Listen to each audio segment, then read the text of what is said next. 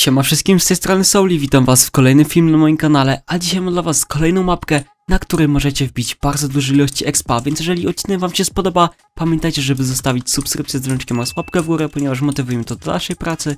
No i jeżeli was już załaduje na mapkę, do której kod macie teraz na samej górze na ekranie, to podchodzimy sobie do tego filaru, klikamy sobie na niego E i wpisujemy tutaj Soul. Jeżeli to zrobicie, bardzo wam dziękuję, klikamy potwierdź i gotowe, no i możemy sobie teraz przejść do tego rifta. No jeżeli już tutaj przejdziemy, idziemy sobie po grap grappler, żeby było nam łatwiej później wejść.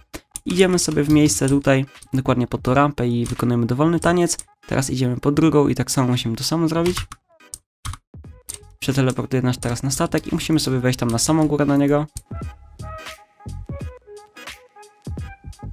Jeżeli już się tutaj dostaniecie, podchodzimy sobie na sam koniec, klikamy sobie E na sekret i powinno was przeteleportować i już powinniście zacząć dostawać expa. Także dzisiejszego filmu to by było na tyle, mam nadzieję, że odcinek wam się spodobał, no i widzimy się już w kolejnym. Siemano!